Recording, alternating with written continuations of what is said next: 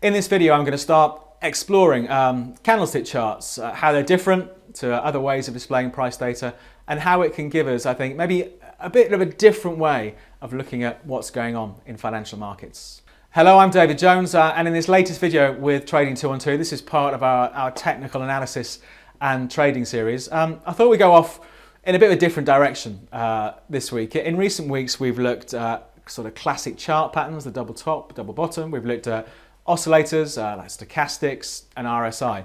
So I thought before we get back into that, um, let's go off and, and, take a look at candlestick charts. Um, if you've been watching this channel for even a short time, you'll know that all the charts that I look at are candlestick charts. That they've been incredibly popular with people over the last sort of 20 or 30 years. But, but for people new to trading and, and looking at charts, there still may be a bit of confusion about what they show. So I thought, well, let, let's start off the first of these few videos on candlestick charts, um, actually how these charts get constructed and how they're different to other charts. So, um, so let's do that. Let's go right back to the basics. We'll look at the different types of chart, the line chart, the bar chart, and why the candlestick chart is a little bit different. Let's take a look at the basics as to how a chart's constructed. First of all, let's look at a line chart. So um, let's say there's a closing price there. On one day it closes there, the next day it closes a bit higher.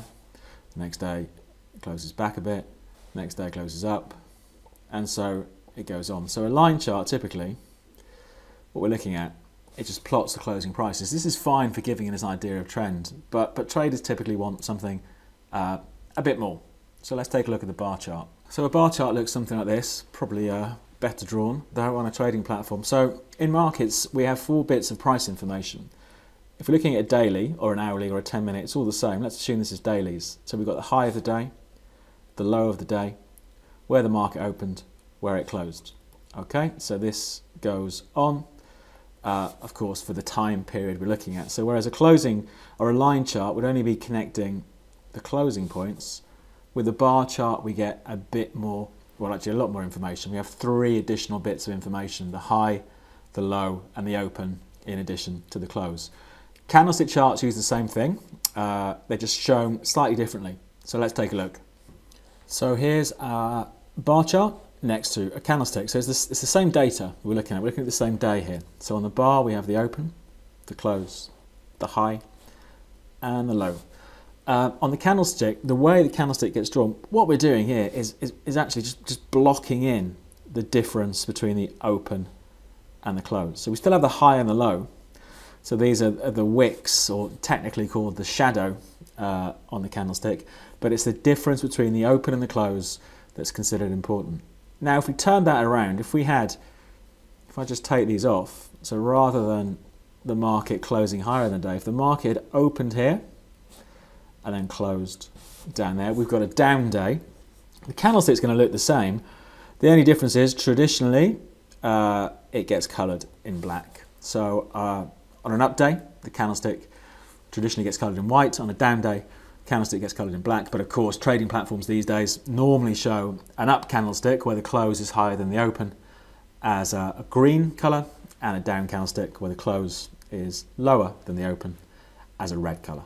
Sometimes you might see candlesticks that look a little bit like this one here. And um, what that is, we've got no body. So this bit here, the difference between the open and the close, is referred to as the real body of the candlestick. In this example here, we've got the open and the close pretty much in the same place. So the market opens here, trades higher, trades lower, but ends up closing just about where it opened on the day. So that's uh, where we have uh, this, this, this, this particular candlestick that looks more like uh, a cross. Okay, and of course, if the bar chart, the bar chart would look something like that as well. Okay, but it's the, the body here is the difference between the open and the close. So there we go, a, a wonderfully drawn explanation. I'm sure you'll agree. Uh, but let's take a look at some real markets now. We'll see uh, these candles uh, in the real world and uh, bring it all maybe a bit more to life. So here we are in the real world. This is pound US dollar. This is a line chart going back to uh, beginning of 2017. Um, and you can see it's pretty clear what the trend is. You know, so if we're looking at a big picture view, lines are fine for that sort of thing. But most traders want a bit more information. Let's change it to a bar chart first of all. We do this on this platform, on the 212 platform, by going to chart type, clicking down, we'll choose bar. Let's just zoom in a little bit just to see that a bit clearer. Here we go. So we've got, going back to August, uh, what we're looking at here, daily bars. So each bar represents a day's, uh, day's worth of trade.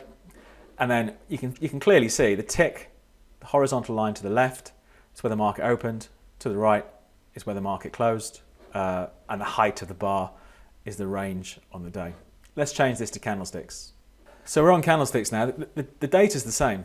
The open, the high, the low, the close. Uh, the only difference is when the close is higher than the open, so there's the close there, there's the open, uh, it gets blocked in, and in, in, this example on this platform, gets, gets coloured in green. When the close is lower than the open, this example here from the 17th of September 2017, uh, it gets blocked in and it gets coloured in red. And then we have days, as you can see, there's a, a reasonable example there, where we don't have much difference between the open and the close. The market trades lower, trades higher, but ends up closing not a million miles away from where it opened. So we get a much narrower body like we have down here as well in August and also over here in November. Okay, the market trades lower but ends up closing uh, not far from where it opened. So that's that's candlestick charts. I think people like them because I think it just makes it visually a lot easier to see maybe what went on during the day. Uh, did the market close higher or lower?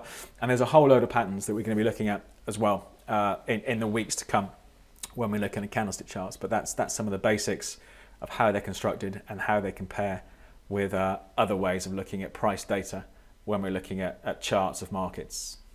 I am a big fan of candlestick charts. Um, you don't get any more information than you get uh, in a bar chart, for example. You have the high, the low, the open, and the close, but it's maybe uh, an easier to read uh, visual representation of what's going on in the markets. It's actually a whole area of charting all on its own. There are various patterns that we're going to cover uh, in the next couple of weeks, but I thought it would be good uh, to just do the basics uh, this week so we're all starting from the, from the same place. And I think it's a, it's a great way of representing the various moves over different time frames, whether it's daily, hourly, five minute, you know, all my charts are candlesticks. So next time around, we'll get into a bit more about specific patterns, such as bearish and bullish engulfing. But for this week, We'll start wrapping things up there. As usual, if you have any questions or comments, just leave us a message uh, in those comments down below. Uh, if you like the video, click on the thumbs up. And if it's the first one of these uh, that you've seen, we do lots of videos throughout the week on different markets, oil, gold, currencies, cryptocurrencies like uh, Bitcoin, um, trading terms, all this sort of stuff. So if you're not subscribed, if you click on subscribe there and uh, click on the alarm bell thing that's down there, you'll get notified um, every time we upload a video. But for this week from me, David Jones and Trading 212, uh, we'll leave it there and I hope you have a good trading week.